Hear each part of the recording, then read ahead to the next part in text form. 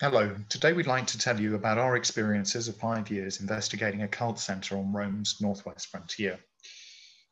Our story focuses on Maryport, and you can see here the fort platform of the Roman side of Maryport on the Cumbrian coast, and uh, on the right side of the image, uh, Senhouse Roman Museum. Uh, the museum uh, that was so important, um, museum trustees who actually launched uh, the idea of this project, uh, who supported it financially, and who are the guardians, custodians of a world famous collection of Roman altars that triggered our investigation. As the signpost outside the museum reminds us, we are a long way from Rome, um, but we are very close to multiple other sites that made up the Hadrian's Wall frontier system. Here are some of the famous altars discovered in 1870. And uh, we are fortunate to have from the 1870s notes from the excavations that recovered them. This one produced nine years after the diggings uh, shows where uh, pits with altars in were recovered and some of the other holes that were dug at the time too. What's interesting about the altars is that the majority of them are dedicated to Jupiter Optimus Maximus, IOM, and are set up by members of the Maryport garrison.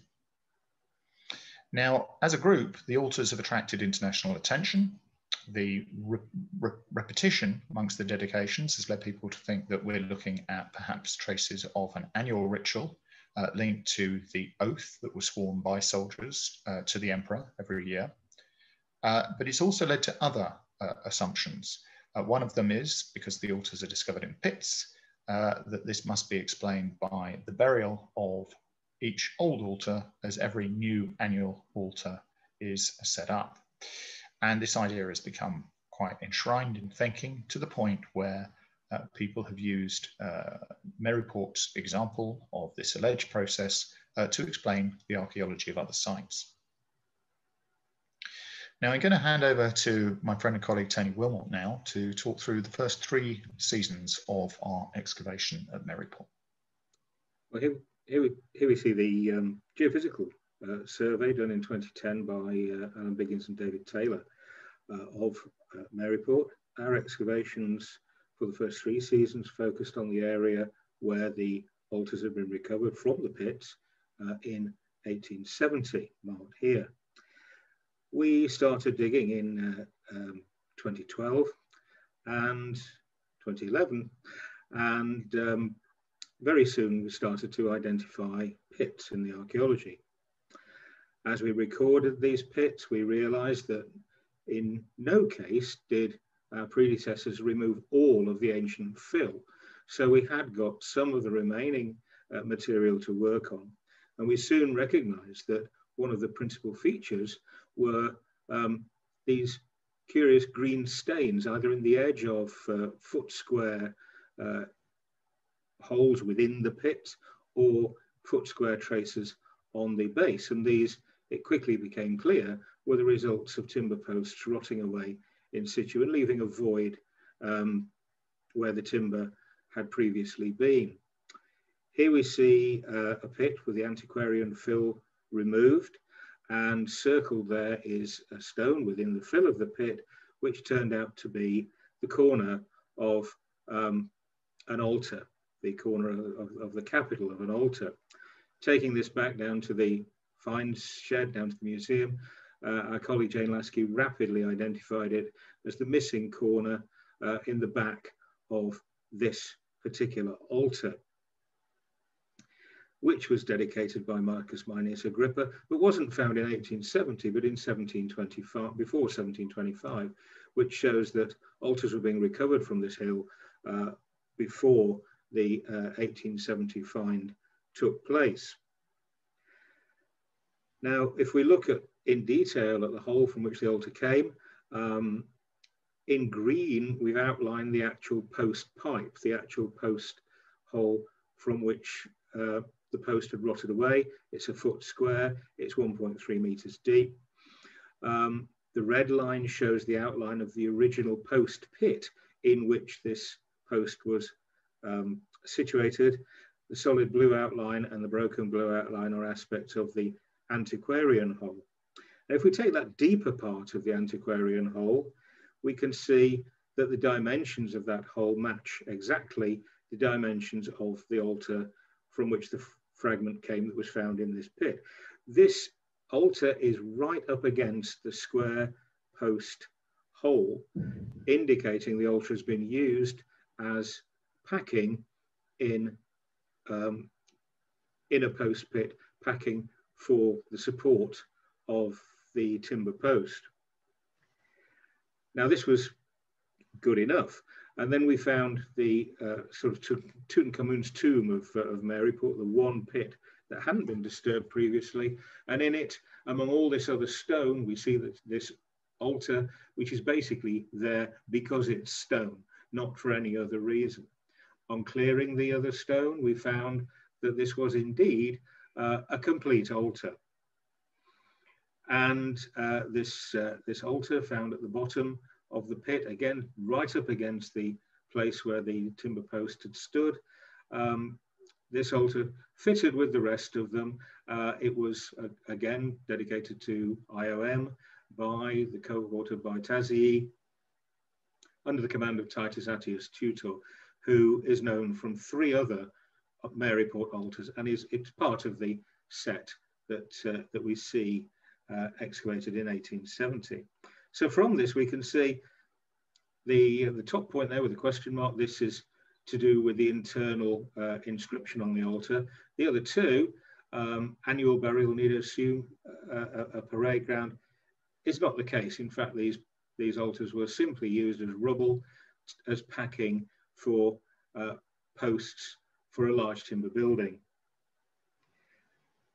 Also, uh, on this uh, on this site in these first three years, this is a plan of all the pits that were excavated. Uh, this ring ditch is uh, is an earlier feature, but off up there to the north, at the top of the slide, there are a number of burials. These were stone-lined burials, stone-lined kists for inhumation burials. Because of the acid soil, there's very, very little, well, virtually no human bone remaining. But from one of them, uh, we found a, a, bead necklace, but also a tiny fragment of textile, which when radiocarbon dated proved to be date to uh, basically the fourth century. And this, of course, is the date at which the sheep was sheared that um, to produce the wool that was used in the in the object, whatever that might have been, uh, rather, of course, than the time of its deposition. The, um, the plan of the, of the pits, um, because they're intercutting, because this, a lot of the stratigraphic relationships between them were destroyed during the 1870 excavation, it's been very, very difficult to work out what kind of building they may represent. The one thing we do know is that uh, that western apsidal structure is uh, is right. These are attempts at trying to make sense of the alignments of posts and the structures concerned. It's, it, it's not massively satisfactory, we, be, simply because the evidence has been excavated away previously. Thank you, Tony. So one of the things that we can say from that is what we don't have is clear evidence for a big temple sitting up there on the highest point of Maryport with all of these pits. Certainly not the kind of temple building that we might imagine from the classical uh, uh, forms that we are so often uh, exposed to.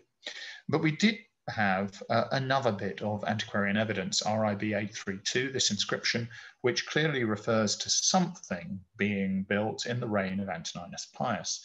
What was this? Well, we thought that this might come from a religious structure of the second century, rather more contemporary with those, the setting up of the altars. And this led us to think about other antiquarian evidence we had from 1880 in this case. And in that year, there were further diggings, uh, not so very far away from where the altars were discovered, and these revealed two rather fascinating structures, one circular, one rectangular.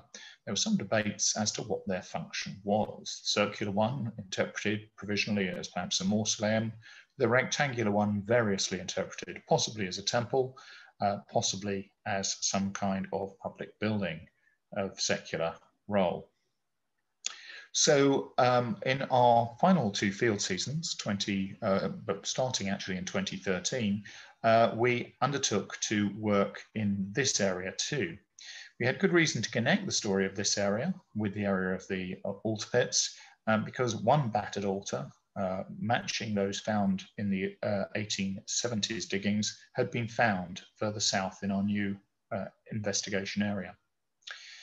Give you a little bit of a sense of what that looks like from the air. You can see excavations there underway in uh, 2014. Now, our work uh, led us to investigate the circular structure and the rectangular one. Here's the circular structure under investigation.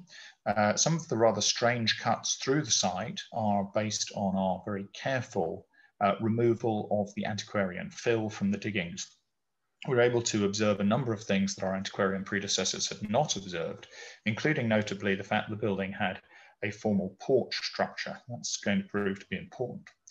We were also able to understand much better the very complex uh, series of ditches that ran to the other side of the, the circular building, noting incidentally that it was cut off from uh, the fort in terms of direct access, and that of course it faces away from the fort.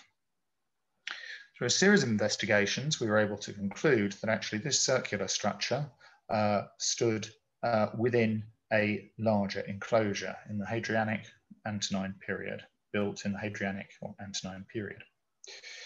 We then turned our attention to the rectangular structure to the south, uh, which uh, has become known as the rectangular temple, because in fact that is what we can now demonstrate that it is. Here was an early investigation of the site. We took things rather deeper and were able to demonstrate uh, that the temple here uh, actually has two columns in antis, a very respectable classical form.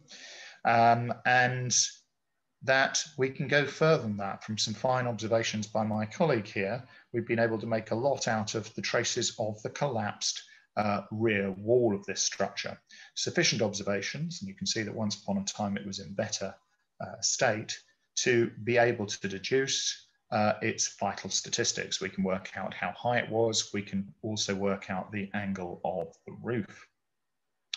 Add to that the fact that we have a whole range of evidence for the color of stone used locally and the fact that this was almost certainly uh, a slated roof and you get a rather interesting and distinctive color combo for our site. But that was not all, because the temple was built over uh, a much earlier ditch. And in that ditch fill, dug into that ditch fill, where the blue arrow is, um, we saw this. This fascinating deposit, uh, which consists of sheep, goat bones, and bird remains, is not a battered uh, discard from a barbecue, but is clearly the remains of a sacrificial offering. It had gone into one of the ditches that was originally around the circular uh, structure that we saw earlier um, and underlies the uh, temple. Now, the fact that this is actually uh, a deposit that we've radiocarbon dated through various means, uh, most likely into uh, the third century or so, late third or early fourth century, means the temple must be still later. And so we see this interesting development of the site, an expansion uh, of the site, uh, if you like, with another temple built on the same alignment um, but adjacent. Two cult buildings then, probably looking something like this in the late third century. And you can see the fort there in the background. Now, one of the things that's very interesting about this is, as I've said, the sites look away from the fort, which might seem a surprise, but they also look straight up towards the high ground, which happens to be where the altars are later thrown into pits. Why is this? Well, there are various arguments for why this might have been done. The Romans are not really known for making a lot of the summer solstice, uh, but it is interesting that the portals of these two temples would align quite well with when one might observe the summer solstice. Uh, could also be argued that this is due to some rather more uh, pragmatic considerations in terms of organization of land in the settlement beyond the fort. What we can say, though, is we can learn a number of things about what was going on here. Uh, the worship uh, actually contains a number of uh, instances of practice known to us from religion elsewhere in the Roman uh, world. These two rather battered bits of clay pot uh, are from tazze or incense burners, uh, frequent aspects of Roman rite.